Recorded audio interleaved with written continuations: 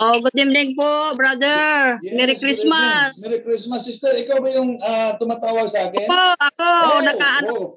At, at least kita nagkakataon na ngayon, ha? nandito. Opo, nang nagkakataon na nandito ako sa amin. Ay may internet sila na available kaya yun, ano na lang, gin, ano ko na, take advantage ko na po. Bakasyon. Singilin mo na, sister. Singilin mo na. Merry Christmas, sister. Merry Christmas. Merry Christmas po. At ah, magandang gabi dyan sa inyo lahat.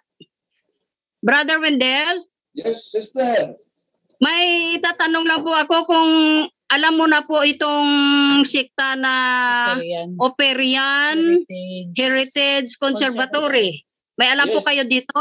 Yes, ah sister, no? Ah may mga sagot na kami tungkol ah, diyan at may live din sila at mga kasama natin. sariling haka-haka lang po nila.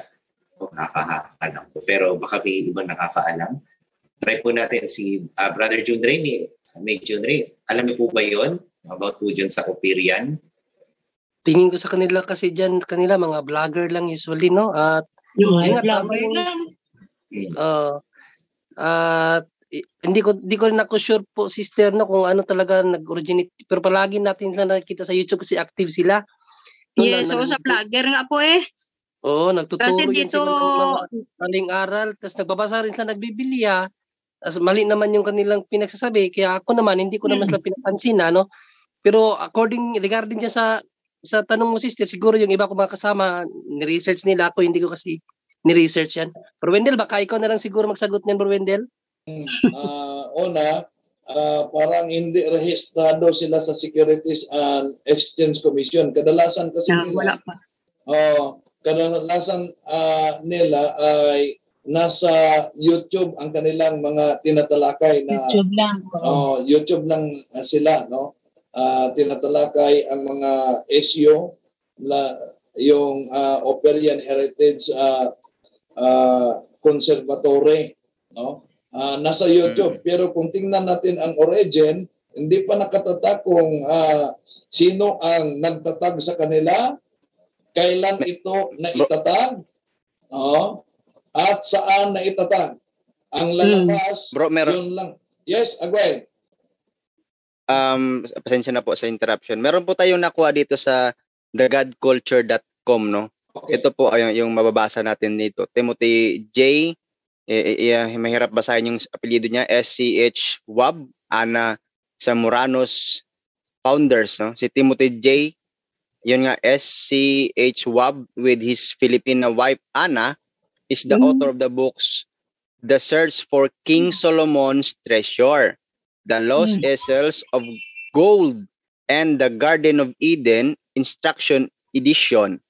The Search for King Solomon's Treasure and Ophir Philippines Coffee Table Book. All supporters by a 300-page source book of very credible sources no one can disprove.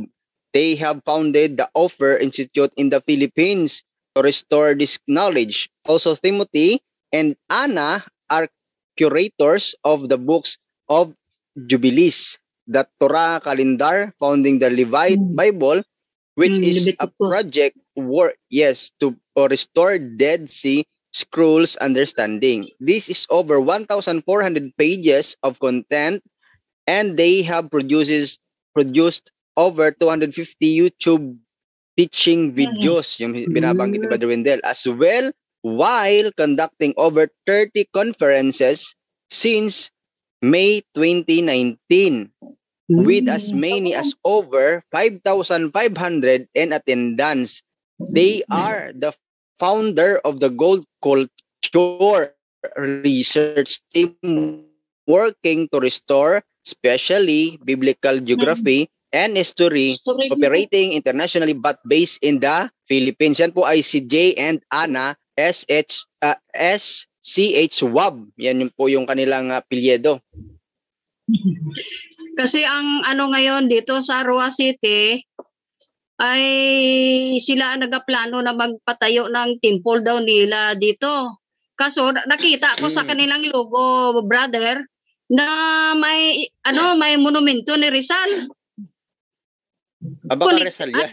Siguro connected Rizal sila yan. doon sa Risa- Rizalian, No, mga kulto. Rizalista. baka Rizal yan. Kulto talaga kasi naka, na-mention talaga ito. Oh, Ah, si Kulto. Kulto talaga sila.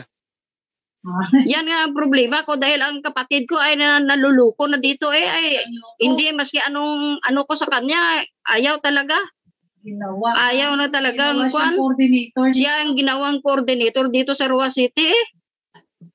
Mm. ay pinagdasal ko na kaya dahil hindi mo siya mabigla na ipabalik ulit bago lang siya sumali mga wala pa yata isang Two taon months, two months. two pa lang. months pa lang Two months. O sa ano niya lang sa YouTube lang. Niya na kita yon tapos ano na na naluko na siya doon. Pati yung mga ano nila, mga im- i- mga images sa bahay sa bahay nila ay ano na ayaw na niya doon. Yeah, Pati ako sister, nga, Mm. actually pati sister, ako no, nga pinapalabas na daw wala daw akong kaligtasan dito eh, sa ang kumbento. yeah, um, Yan ang aking deli- delikado talaga yung mga operya na yan kasi nung ako din nung una kong pinakinggan yun sila sa YouTube kasi sa ano nila na naingganyo ako dun sa kanilang mga title ba pinakinggan ko yung ano nila pero kalauna na parang ang layo na ng pinagsasabi niya sa aral ng Katoliko Malayo na. Ah, Malayo na, dahil- sa mga sa mga tao na ano na hindi malalim ang unawa sa doktrina ng Katoliko, maaari nilang malinglang. Kaya ingat po tayo mga Oo. Katoliko na mahina pa yung pananampalataya no. Pwede po tayong ma- malingla sa mga operyans kasi ako nung pinakinggan ko sila talagang ang layo ng ano nila pinagsasabi pero pakikinggan mo sila parang totoo. Kaya ingat po. ay ang New Testament, brother, hindi na sila doon naga hindi na sila naniniwala doon. Old Testament, Leviticus, Leviticus ang palaging ano na binabanggit.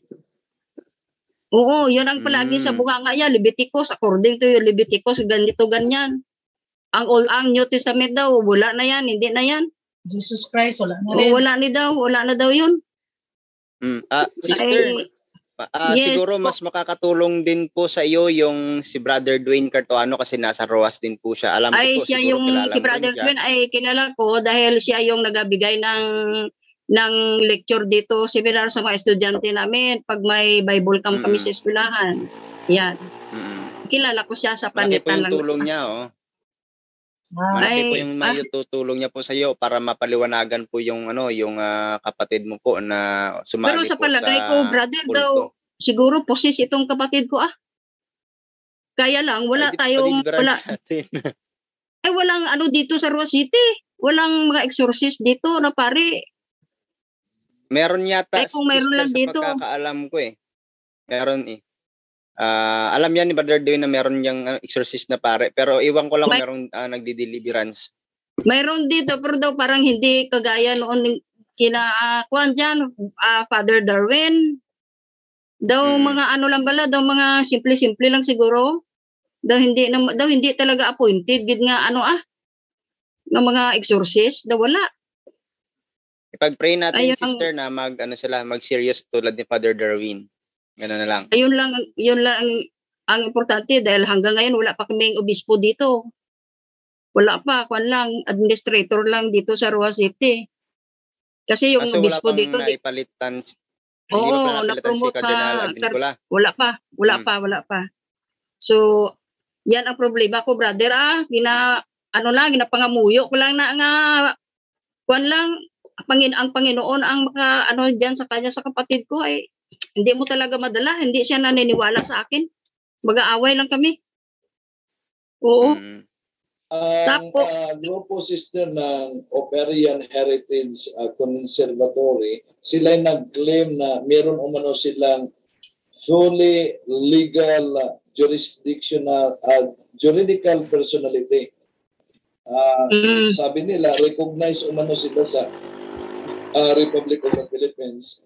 Ah, pero, di nila naipakita ang SIC registration nila.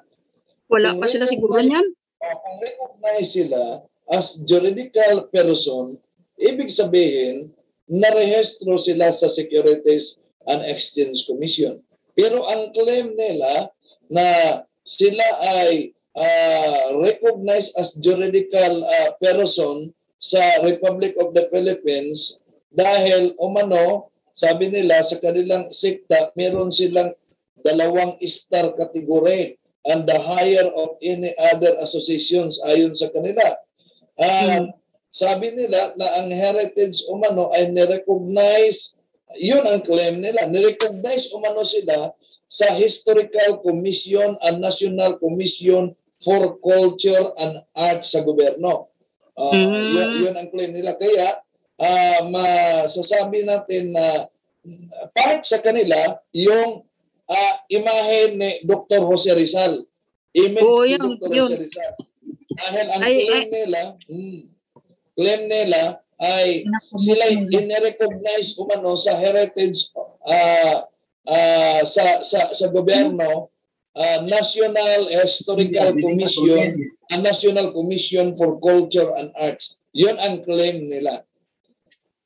Eh, eh, hindi talaga, malaki talagang kamalian eh. Ay, yan ang problema ko, brother. Pagdasal Kung paano ko yan- Sila, sister. Opo, ngayon na lang ang aking palaging, ano, gina-offer ko na lang lahat-lahat yan. Nga na magbalik siya. Kasi bago pa lang, lang, lang naman yan eh. At tuwing mag, ano siya, magdasal ay sa YouTube lang naman yan nagakwan. At hindi maintindihan kung anong mga mga sinasabi. Oo, daw, parang naga, ano na, spe- speaking of tongues lang sila kung magdasal. Ay, siko talagang ano yan, ng kulto talaga. At saka isa pa po, brother, mag magtatanong lang ako, may ano po, po ba ngayon? May sacramental blessings po? Ah, bro, Magbe-bless po si Padre ngayon? Mayroon po? si Bro Christian, Bro Christian, Yes, bro. Actually, sister, ang ah, sa pag sa ngayon po kasi si Father Darwin medyo mahirap po sa kanila yung kuryente kasi Opo. hindi nga pa hindi ito pa daw na ayos yung linya ng kuryente nila doon. Ah, So, oo, gina- kay nabagyuhan. Opo. So ang ginagawa po natin ngayon, ah nag-aas tayo ng favor kay Father Ricky na kung pwede ba mag-blessing ng sacramentals. Pumayag Opo. naman siya, pero yun nga lang po, yung schedule ni Father Ricky yung aanuhin natin. Schedule. Tayo yung Ah, mag-a-adjust para kang Father Opo, Ricky. opo, opo. Oo, hindi pa po. sure, no? Opo, opo, opo. Pero sige lang kasi napag-usapan naman namin ni Father Ricky na ah anuhin talaga namin na weekly yung ano yung sacramental blessing. Antabay lang po tayo sa page ng punto por punto. Maglalagay lang po kami ng mga announcements doon. Schedule Kung announcement. kailan, Opo. opo, kung kailan po yung sacramental blessing natin. Ah. Sige po, yan, yan lang po mga brothers. At salamat naman po sa Panginoon dahil dito sa Rua City, sa Capiz daw hindi man kami masyado gid na apektuhan ni Odette. Wala man. Hindi kagaya diyan sa Bohol na daw marami gid ang na-damage niya diyan. So yan lang yan, yan lang po mga brothers. sige, Salamat- maraming Salamat gid po.